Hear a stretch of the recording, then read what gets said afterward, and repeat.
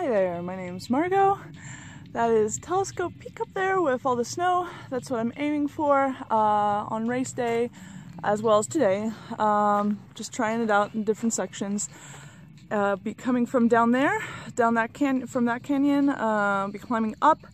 If you were to follow that canyon all the way down, you would uh, eventually end up in Badwater, which is my uh, where I'm starting from.